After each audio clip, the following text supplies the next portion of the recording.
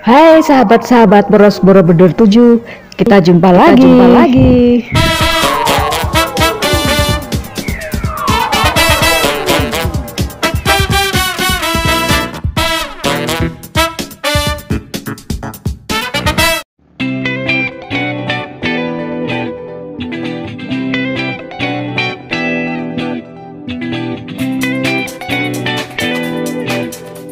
Guys, saat ini saya Mbah Gemblung berada di area TWT Borobudur.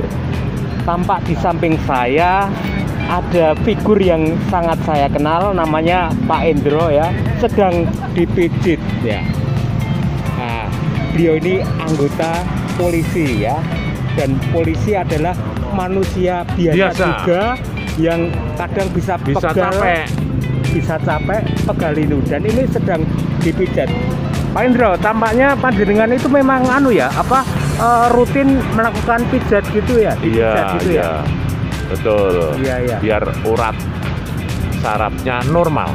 Ah, iya normal kalau lagi normal gitu kan. kita bekerja bisa semaksimal mungkin. Ah betul ya ya nah Pak Indro ini dinas di Polres Kabupaten ya? Kabupaten. Kabupaten Magelang kalau tempo hari eh, Kapolresnya itu namanya Bang Ronald. Sekarang Bang Ronald sudah eh, pindah Pindah di- dinas tugas di eh, Jawa, Jawa Timur. Timur. Ya, Eh, beliau menjabat sebagai Wadi Reskrim Reskrim. ya Polda Jatim dan eh, penggantinya atau penerusnya sekarang adalah Bang Jarot.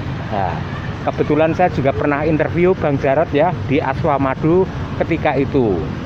Dan Pak Indro ini ya memang rutin melakukan apa pijat pijat supaya uh, badannya itu ya Fit, fit, fit. ya untuk ya operasional apa itu jadi, Jadi enak, enak. lepas ya enak gitu oke Pak Indra jaga stamina jaga kesehatan ya amin siap saya salut karena anda masih disiplin memakai masker Siap, gitu. oke.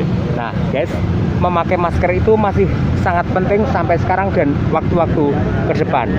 Itu saja ngevlog Mbak Gemblong ya di area TWC Borobudur. Oke. Eh, salam rukun, eh, tetap jaga persatuan dan kesatuan. Usaha apa saja diniati ibadah supaya insya Allah dapat keberkahan. Salam Bhinneka Tunggal Ika dan salam kebangsaan.